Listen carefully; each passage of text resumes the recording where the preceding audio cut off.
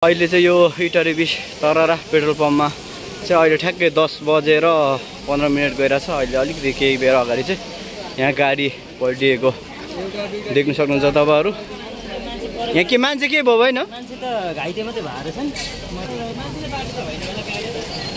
यहाँ अहिले चाहिँ यो गाडी चाहिँ पाकरभिट्टा ग्यालेक्सी यातायात रहेको रहेछ है। यहीँ गाडी चाहिँ तपाईँहरू देख्नु सक्नुहुन्छ यस्तो। मान्छे चाहिँ के कति थियो होइन अब यसमा चाहिँ। यहाँ थोरै रगतहरू पनि देख्न सकिन्छ।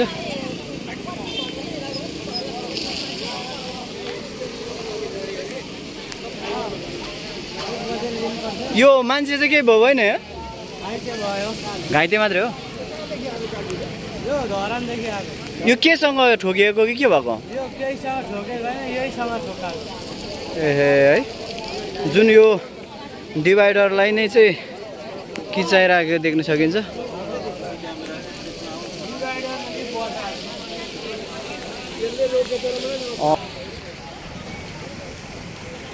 जुन यो चाहिँ मेन हाइवेमै रहेको छ यतापट्टि चाहिँ तपाईँ देख्न सक्नुहुन्छ तरराको पेट्रोल पम्प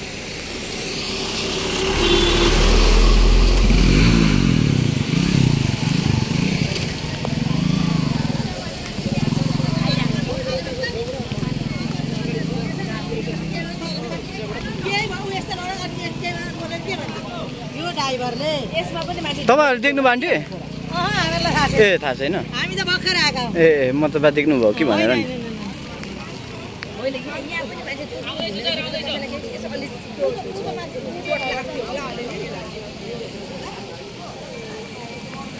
गाडी चाहिँ पुरै उतार्नु पल्टिरहेको अवस्था छ।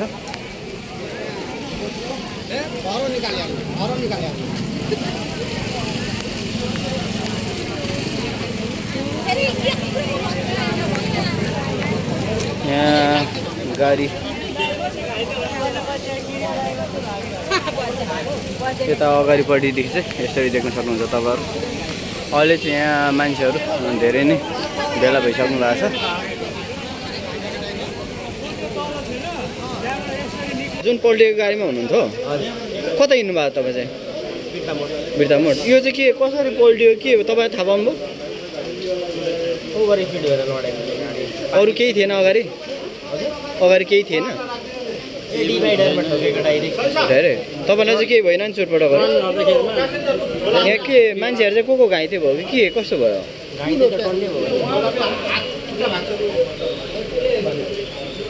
के खुट्टा भाँचेको अझै नलगी ए यहाँ चाहिँ के खुट्टासम्म चाहिँ भाँचेको छ खुट्टा चाहिँ भाँचेको छ पेसेन्जरहरूको मान्छेको ढाड खुसेको एउटा टाउको फुटेको लगभग यहाँ कतिजना थियो पेसेन्जर चाहिँ? पछाडिको सिट मात्रै हल्का खाली थियो। हेलो? जस उहाँ चाहिँ यो जुन अहिले पल्टीको गाडीमा हुनुहुँदैछ उहाँले भनेअनुसार चाहिँ गाडी पछाडिको सिट मात्रै खाली। अरू चाहिँ सबै प्याक थियो अरे। यहाँ जस जेन चाहिँ कसैको गएन छ होइन? भगवान्को कृपाले।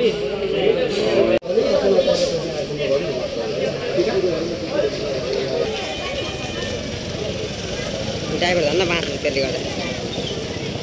अब जुन यो पल्टेको गाडीलाई चाहिँ उठाउनको लागि जेसिबी आइसकेको छ।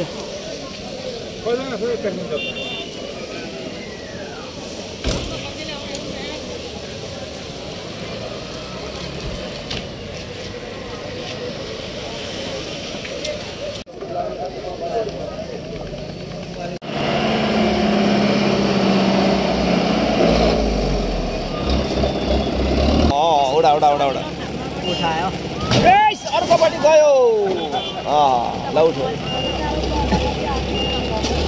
नपल्टिनु नर्तन होइन नर्तनमा नपल्टिनु त्यत्रो उठेको थियो त पल्टे पल्टेन नि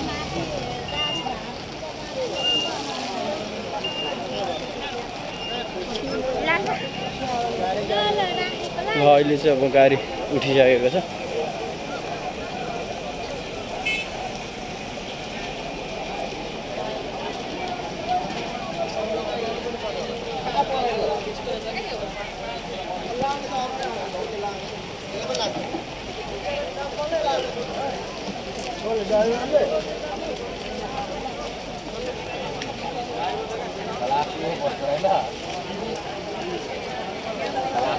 यहाँ चाहिँ मोबाइलहरू कसैको छुटेको छ भन्ने र चाहिँ जुन यहाँ सर्नुहुने पेसेन्जरले भनिराख्नु छ त्यही भएर चाहिँ यहाँभित्र के के छ भनेर खोज्दै हुन्छ।